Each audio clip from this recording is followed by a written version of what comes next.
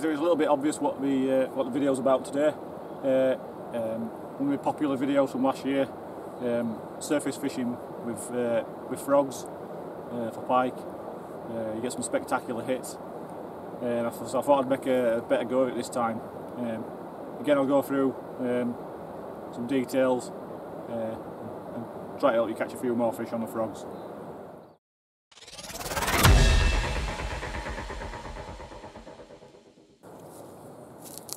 So here's a here's a load of choice at the moment.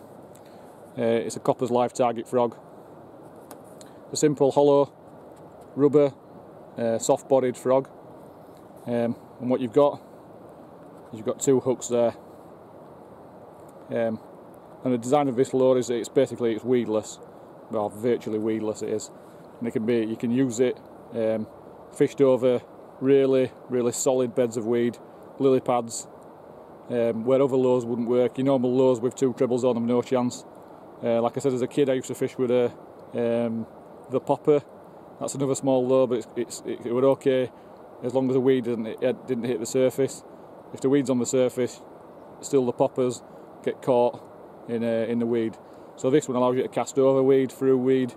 Uh, you'll see in some of the clips, it's just it just bounces over. It doesn't it doesn't hook up. You can see there. I can rub it against my hand, and those hooks aren't going in. So you're not getting tangled up.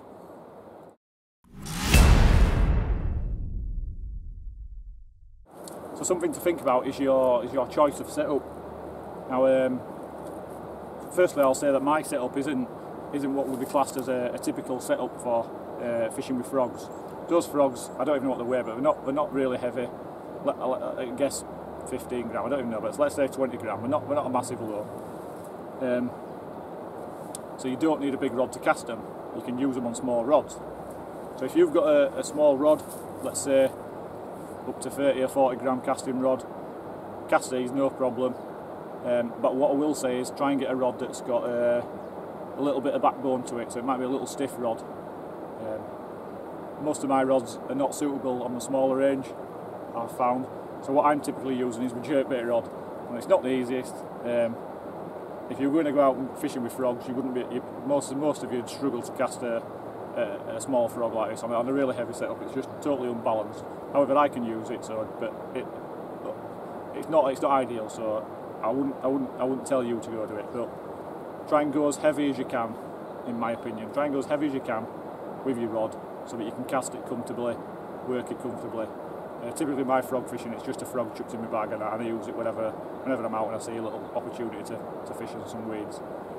Um, what I will say, even though you use, if you're using a, uh, a lighter rod, what I will say is um, still use a, a decent quality braid, a decent strength braid. Let's, I wouldn't go less than 40 pound braid and obviously a 40 pound trace to go with it. If you go lighter, um, you have to remember that you, you might be fishing this, this low in and around thick, heavy weed. Uh, at the point that you're, you, you'll hook up with a fish, the fish goes into that heavy weed and you might have to pull it out. So 20 pound, 15 pound braid, you're just going to break it and you're going to end up with a fish with a lure inside it. So you want a, a strong braid uh, and together with that you want a, you want a strong trace. And like I say, 40 pound and for the simple reason, uh, a lot of times when you when you set the hooks, you might set it a bit harder than you would normally. We'll talk about that in in a second but uh, and because you're giving it extra force to set those hooks, um, you need to have a, a, bit of strength in your wire trace. Because if you don't, you'll get a slight kink in it and it'll just and it'll just break, or you get a slight twist in it and you'll just snap it in inside the pike's mouth. Uh, so that's another another thing you don't want. So having by having a bit of extra extra strength, 40 or 50 pound, I'd say at least. Um, so if you can, try and find yourself a dedicated setup. Uh, I'm I'm a bit cheap, uh, and I make do with what I've got. Like I said, I make do with my heavy heavy jerkbait rod. And I can usually cast that as far as I need to. I'm not looking to cast miles. I can cast quite far with it, so I'm happy with that. But um, it might not be. It probably won't be for you. So you can see close up. I'm still fishing with a uh, my frog, a hundred pound titanium trace, an 80 pound braid. So I know I've got plenty of strength to get me out of out of trouble. Uh, it's not ideal. The heavier trace, you'll, and I'll mimic it on this video, the heavier trace, that's how it'll sit in the water. So your trace will want to pull the nose of the frog down a little bit. However, I don't find it too much of a problem because I keep my frog moving most of the time, so it's not not a massive problem for me. So it's, it's personal preference, uh, but I would say try and go as heavy as you can rather than lighter than you can. So the frog itself. Some people like to, I know Eddie, Eddie likes to tie knots in these. Tie a knot in the rubber at the end there, and basically it looks like, and you can tie it in the middle as well, and it looks like knees on a on a leg basically. So you can do that if you want. Um, I never really bother.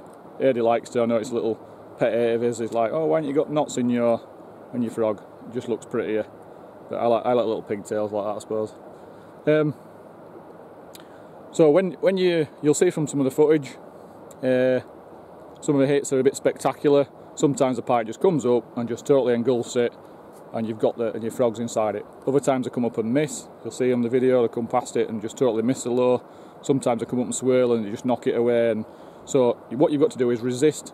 Um, resist the temptation to strike on what you've seen. Now that's not easy when you're a lure fisherman and sometimes you need to hit it straight away.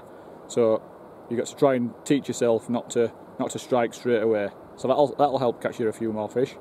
Also what you've got to do is it's a bit of luck. You don't know what's happened when the pike's got it. The pike's got hold of that lure and what the pike has to do, it has to bite down on that lure to expose those hooks. And you need to have them, them hooks exposed so that when you strike, the hooks go in. Now if the pike's just got that inside its mouth and you pull that, apart from it's just got my finger there, and you pull that, there's a good chance it's not gonna gonna gonna set those hooks. It'll just pull straight out of its mouth. So you need that pike to be biting down. So there's a bit of luck there. So let's say, I don't know, 50-50 chance on that it's actually biting down at the point that you need it to um, set the hooks.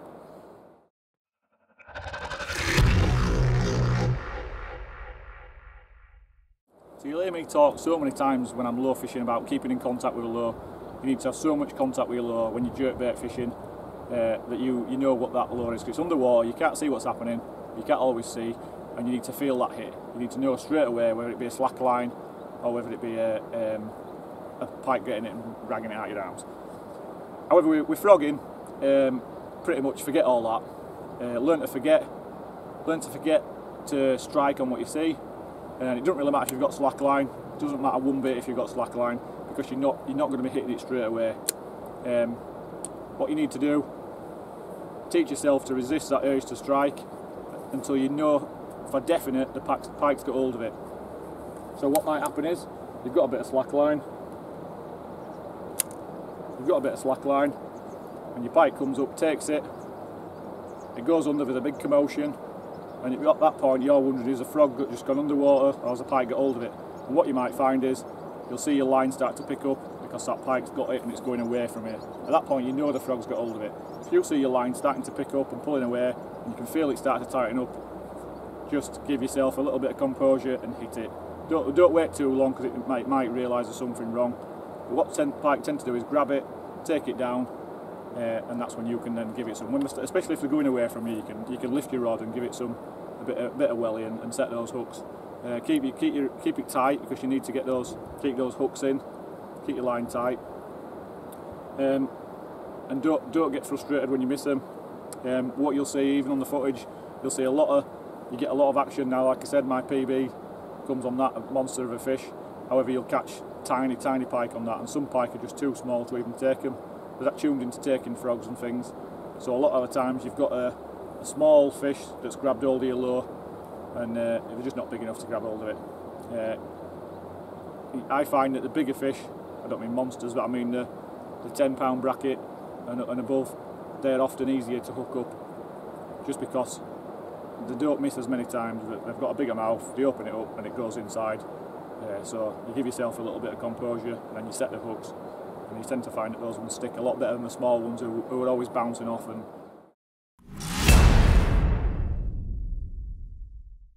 so the benefit of frogs um, weedless and you can fish them in and around uh, really heavy cover really heavy weed um, and that's that's what you want to use them for uh, pike are going to be laying up in them places um, chilling out and, and like I said earlier the smaller ones especially the smaller ones will be hiding in the in the weeds because it, it keeps them safe from the big guys so uh, start getting around weed.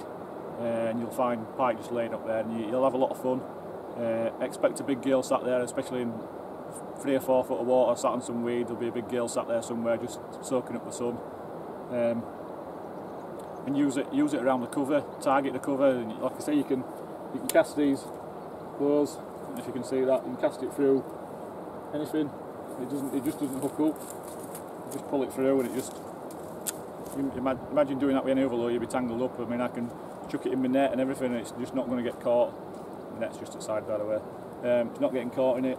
All this heavy weed, not not trying to get it in it. It just doesn't. They don't get tangled up. Cast it into trees if you if you're not very good at, at casting. Uh, casting into trees, that's what you want to practice with because you can get it back most times, especially if you've got heavier braid as well. You're going to pull it out. Uh, they don't they don't hook up. So um, use that use that to your advantage as well. Um, one, one thing that we, we like to do if, you, if you're fishing on a small venue, let's say you're fishing a small canal or whatever, you can cast it to the far bank, don't cast it to, into the water, cast it to the far bank, slaps on the mud, and then basically what you can do is just nicely just pull it in and just plop it into water. And sometimes that plop rather than a big splash, that little plop is what attracts a predator. It's sort of like a little bit more natural noise uh, some of a frog jumping in it. It attracts their attention, so a little tip like that, don't just necessarily cast it into the water, cast it onto the far bank. You won't, you won't get tangled, you won't get hooked up on the bank. Cast it onto the far bank and just just pull it slowly in and just drop it in like a canal. Just drop it in, just let it plop into the water. Uh,